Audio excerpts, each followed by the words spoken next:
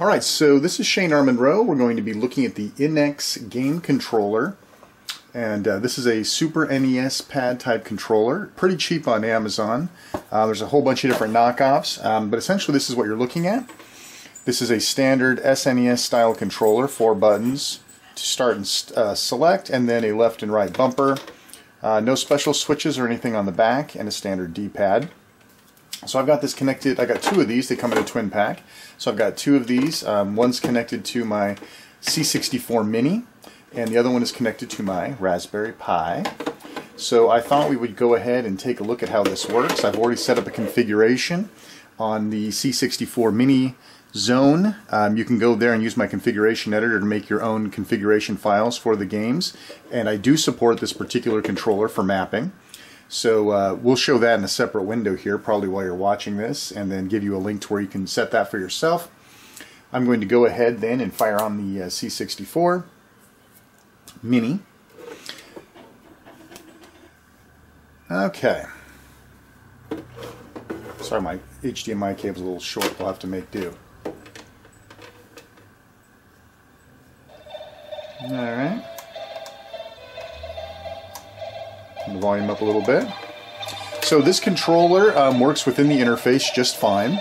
Um, you use the uh, right bumper here to actually select stuff. So we're going to go down to the USB.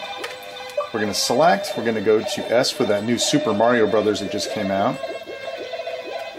Alright, and I've already made a config file for this.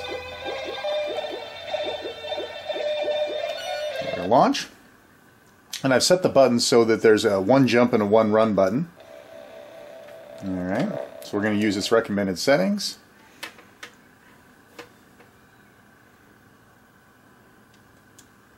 And as you can see, it works just fine. The D-pad's nice and tight.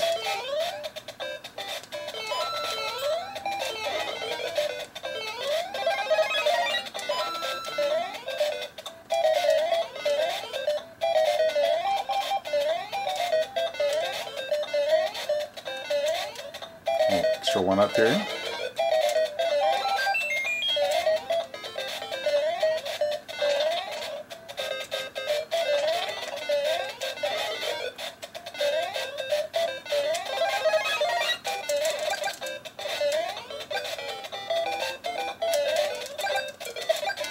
So there you go. And then um, the way that the controllers map, the start button cannot, or the, I'm sorry, the, yeah, the start button can't be um, remapped. So that acts as the, uh, the in-game hotkey. So you can't remap this one, but you can remap all the other ones. Uh, and that's that. So there you go. It works very well in the Commodore 64 Mini. And so we're going to set this thing up. Some people have asked me to show you how to do this sort of thing. I'm going to transfer over to the Pi with my RetroPie image.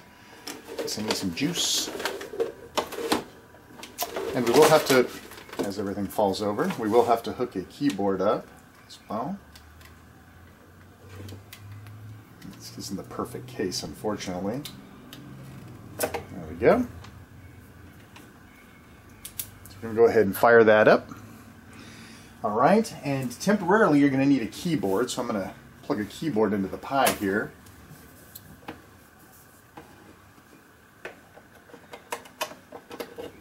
Okay, so now the keyboard's plugged in. Wait for the Pi to boot. And so this is already plugged in, so this is a standard um, USB controller. So we're going to go ahead, let this guy finish up. Okay, so um, you can see the controller, of course, does not work out of the box. So we're going to use the um, keyboard here, see if I can remember how to do this.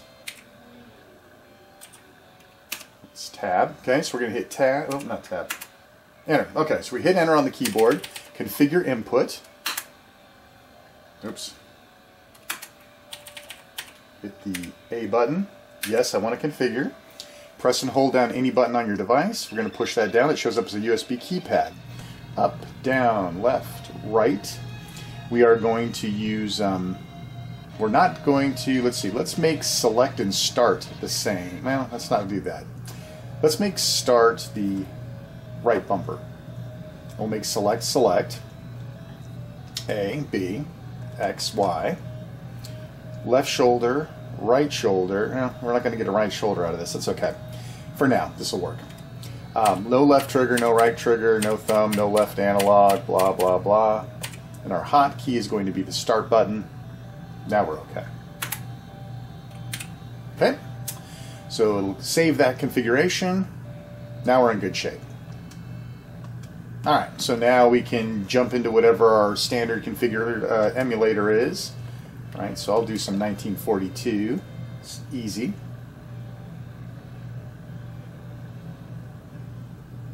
I remember I made start over here. Start's our hot button here. So let me see. All right.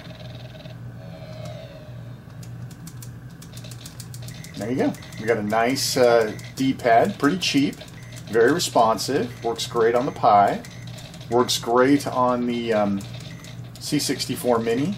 Of course, it works pretty much on anything that would accept a USB gamepad. And with our current settings, it should be hot button and select, or hot button and start to get us out, which it is. And now we're back to the menu. So there you go. So you got a little bonus tutorial there. So it works great with the Pi, works great with the uh, C64 Mini. And um, yeah, well listen, I hope you enjoy, oops, I got the power button.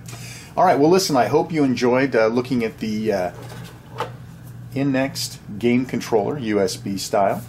And uh, please subscribe, uh, like this video, share it with your friends. Uh, we really appreciate your uh, patronage on the site. So thank you very much. Again, this is Shane R. Monroe. We'll see you next time. Take care, everybody.